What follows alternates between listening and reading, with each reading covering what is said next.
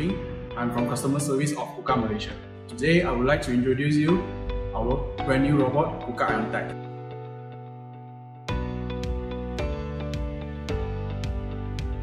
KUKA IONTEC is belongs to the medium payload category, which offering you from 20 kilo payload to 70 kilo payload with the reachability of 2.1 meter to 3.1 meter.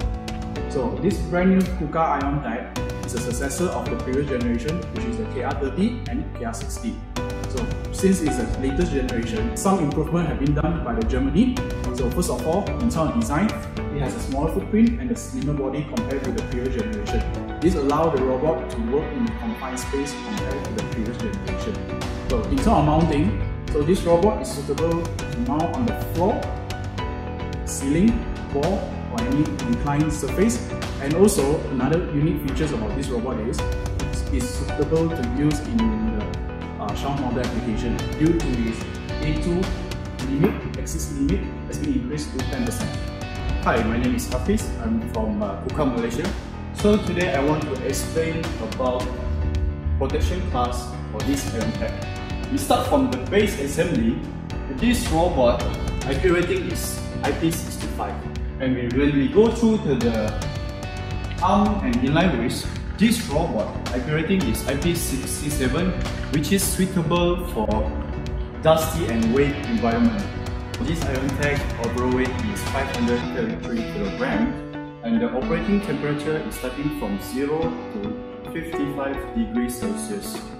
This IONTEC operates a noise band 69 decibel, so it's a very quiet system so why need to choose IONTEC is because this IONTEC is belt free from other previous generation.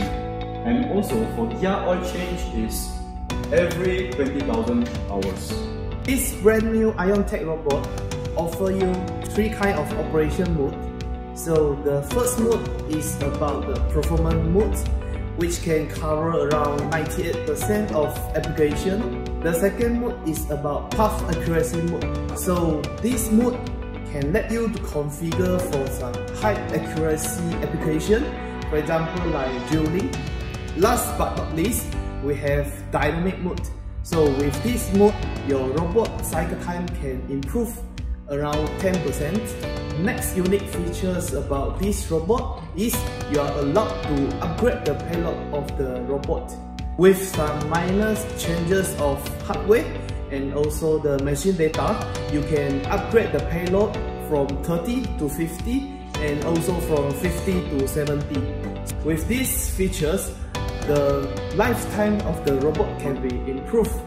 And of course it gives more flexibility to the end user this robot just arrived our factory by today. So before sending out to the customer, there are a few things that you need to carry out to make sure that this robot is in good condition. So first of all, we'll do some basic inspection on the robot itself and the controller.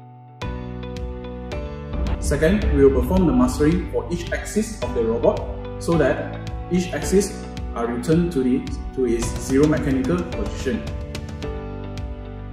Third step, we will check the functionality of the smart pad. So basically, we will check at the button, each of the button, especially the emergency stop and the dead swing switch. So the following step will be, after making sure every single thing is perfectly fine, we will jog each of the axis of the robot. Finally, yet importantly, robot will be dropped back to its transport position before transporting the robot. After that, robot, controller, cables and some accessories will be packed securely and ready to send to customer. Lastly, thank you so much for watching our video. If you have further questions about this robot, please kindly contact us.